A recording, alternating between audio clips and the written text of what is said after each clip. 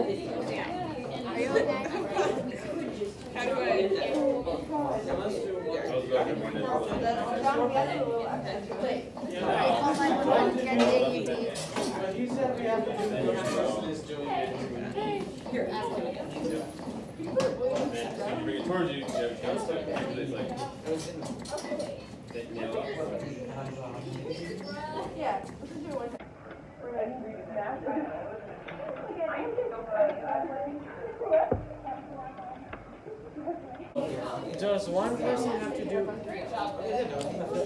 working in groups, Do we have to have